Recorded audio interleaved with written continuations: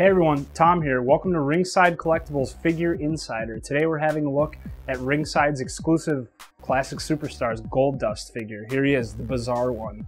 Jakks really went crazy, decked him out in gold packaging for his first and only Classic Superstars figure. Let's have a look at some of the details.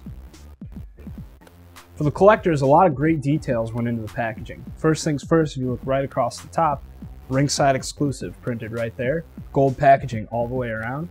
It's obviously a classic superstar. Right on the back, as you know, picture of the figure, just like you're used to. Goldust stats right next to it. So now we're going to go ahead and take a look at the figure loose for those who like to play with them just like I do.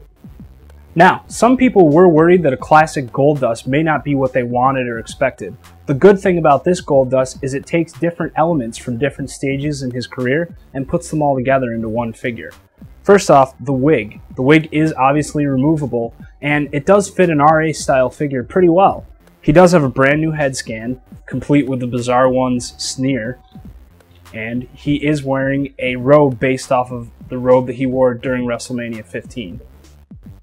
The robe has Goldust printed on the back, it does have a hood that sticks up, and it has white frill, and a few other details. He comes with a classic Intercontinental title that's painted in the front and actually has a gold strap. The ring attire is based on Goldust's 2002 Royal Rumble return, so there's a lot of details that are pretty much taken straight from that. The lines on Goldust's face paint extend all the way to the back of his head, and he does have the black trim on the boots. Not to mention, Goldust printed right across his back. So here he is, Classic Superstars Goldust, not available in stores, only available from Ringside Collectibles at WrestlingFigures.com.